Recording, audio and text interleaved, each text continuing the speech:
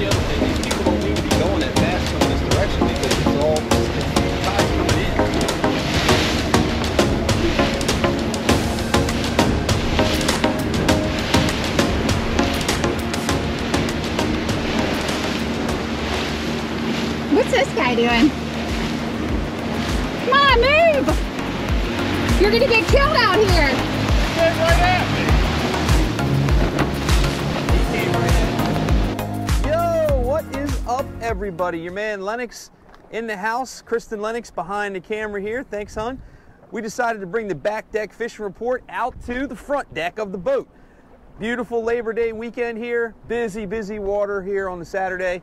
Uh, water looks really good for flounder fishing, so I'm sure some of these people are flounder fishing. You got idiot yahoos like this. Hey, it's six miles an hour, six knots, six knots. Yeah, all the way past there. So that's how it works, man. Sometimes you got to regulate. But back here, especially on a busy weekend like this, you can't have guys going by like that. Very nice, man. He settled right down, didn't know it. But you got to know, six mile an hour zone from all the way down by Assateague Island, the commercial harbor, up here past 9th Street, almost to Harbor Island, right where you make the turn to head over to what we call the Y. All six knots through here. They'll pull this up probably sometime in October. So October, November, all the off season. It's not six knots down uh, through here, but right now it is all the way through sometime in October. So, like I say, we decided to bring the back deck fishing report out here to the bay. We got the trolling motor from Midshore Electronics just sitting here, real, real still. Awesome thing we've had on here for a couple of weeks. And we've got some updates. Got some tournaments still coming down the pipeline, like our Inshore Classic we'll get to in a little bit. But we just had the last big money tournament of the season last week with the Mid Atlantic. was an awesome event. Uh, had 178 boats fishing the Mid Atlantic.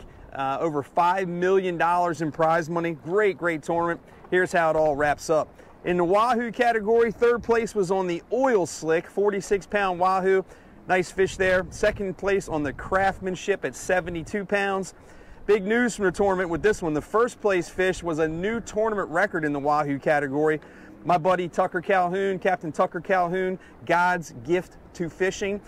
104 pound Wahoo breaks the old tournament record uh, set back in the 90s, I think it was. 104 pound Wahoo, absolute beast. In the dolphin category, third place was caught on the Sea Wolf, 33 pounds. Second place on the Love and Life at 39 pounds. And first place on the Valentine at 43 pounds. In the tuna category, third and second place both go to the same boat. The right place was in the right place when they hooked up two big eyes, 152 and 193 pounds. Good for second and third place in the tuna category. First place in the tuna category, big old big eye, 210 pounds on board the Lucky Duck. So unlike the White Marlin Open where there were big eye after big eye after big eye, there weren't that many big eyes in the mid-Atlantic. Only a couple of them weighed, three fish to be exact. Fourth place was a yellowfin tuna. Um, but also, unlike the mid uh, the uh, White Marlin Open, the Mid Atlantic saw blue marlin after blue marlin after blue marlin. This was definitely the week of the blue marlin. And in the blue marlin category, third place was over 600 pounds, 607 to be exact, on the Kilo Charlie. Uh, my buddy Burrow and the guys on the Kilo Charlie. Second place was on the Lucky 7 at 619 pounds. And first place was on the low profile at 657 pounds and there were another probably, I'd say 10 blue marlin that qualified.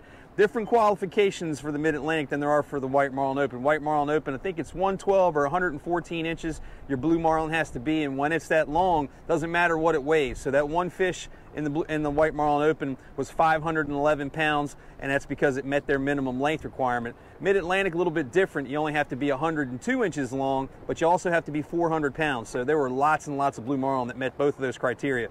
White marlin category, third place on the Random Chaos at 66 pounds. Nice fish there. Second place, Michael Jordan's Catch 23 at 73 pounds. And they got bumped and on the final day by the Karma at 75 pounds. They won 850 or 75 thousand dollars. Like I say, great event for the Mid Atlantic. Uh, Rick Weber and his team did an awesome job. Tournament director Aaron Hoffman up in New Jersey running things. Great job once again, and lots and lots of money paid out during the 31st annual Mid Atlantic tournament. So the guys found some fish during the Mid Atlantic. White Marlin Open, man, they were scarce, right? Only one qualifying um, blue marlin, only a couple of white marlin that qualified, not a lot brought to the scales. during the mid-Atlantic, different story, man. They found the fish up in the Lindenkohl, Spencer Canyon area, and they started to move down after the tournament was over. So white marlin fishing has picked up and still doing pretty good as, as we say this out here on YouTube for you. Um, but right after the tournament, some really great catches. We had the real chaos catch and release six white marlin one day. Uh, Captain Monty Hawkins got a great shot of the Sam Bob coming in one afternoon, had one blue marlin and eight white marlin releases. Bill Fisher, 12 of 15 bites out there one day, had a great uh, release day. And nine, nine-year-old Dominic Carton released his first white marlin. That's always a cool thing when a young kid releases his first white marlin. Don't forget, if you catch a white marlin in Ocean City, Maryland, you can go to our website. It's fishinoc.com, and we've got a first white marlin form on there. Fill it out. We'll send you a certificate from us in the town of Ocean City. Pretty cool if you want to put it in a frame uh, and for your first white marlin of Ocean City, Maryland. There's also some tuna around. Got some tuna out in the canyons when you're out there trolling for the white and blue marlin and stuff. Couple of long fins, some yellow fins, one or two big eyes caught. Um, Real Chaos had five white marlin releases the other day, and they added two really big stud longfin albacore to that. Uh, Rochambeau was fishing out there. He had a nice day with a 70 pound plus yellowfin tuna and a pile of blue line tilefish.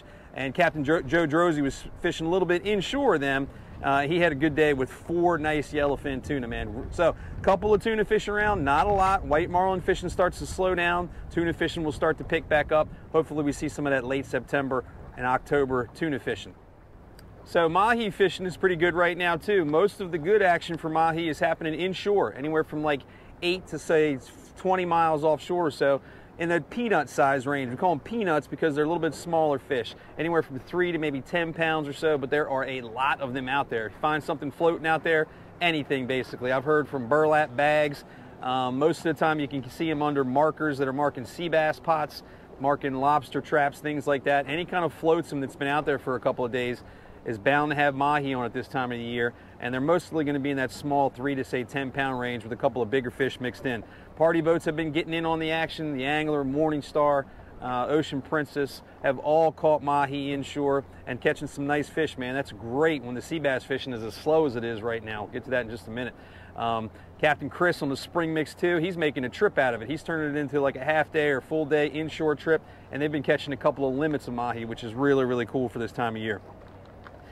As mentioned, sea bass fishing is kind of meh right now. Uh, not great. Was cap with Captain Chris on the angler the other day. Man, I didn't hardly catch anything. I had a couple of uh, released sea bass, but it was a six and a half hour trip, not like his eight hour trips that are going on right now. But sea bass fishing is, yeah, you get on the right day, the right wreck, um, and everything falls in line. You can catch some fish, don't get me wrong, but that will pick up as the water cools down and the season goes on. Um, that being said, if you go offshore into some of the deeper water and do some deep dropping, there are some big fish out there. Captain Austin Enzer on primary search, he found some fish over six pounds out there in the deep. Deep dropping for blue line, golden tilefish, and some sea bass in there too, and some of them were over six pounds. That's absolutely huge. Flounder fishing is pretty good on the wrecks and reefs right now. Um, Got some, got the party boats are, are, taking advantage of that too. So where the sea bass is lacking, you know what you're doing. You can catch a couple of flounder. They've all been catching flounder as well. And just the other day, uh, buddy Kevin McNellis went out and took his dad out, and his dad was able to catch his um, personal best at over 23 inches. Really great fish. Back bay fishing, back where we are right now, you can see a lot of people cruising around. But flounder fishing's pretty good. If you can get on this green water, show them a shot of this. That's the kind of water you're looking for when you want to go flounder fishing, man.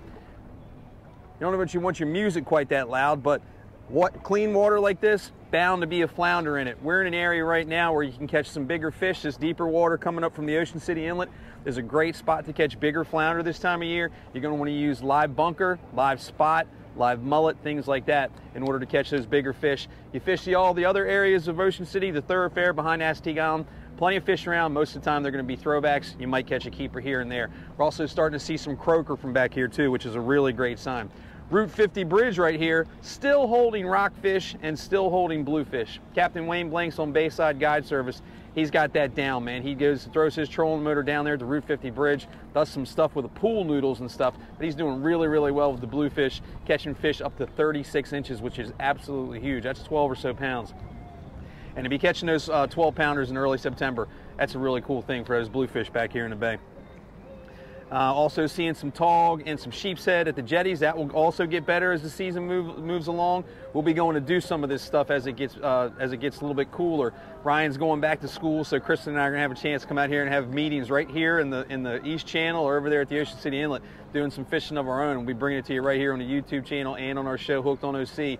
You can check out here at YouTube too. It's youtube.com forward slash unseen pro. Check that out. Our Ocean City Inshore Classic tournament is just a month away, man. Registration is on October 7th, Friday, October 7th at the Sunset Marina uh, Activity Room. That's on the east end of the property. We'll be doing registration and sign-ups there.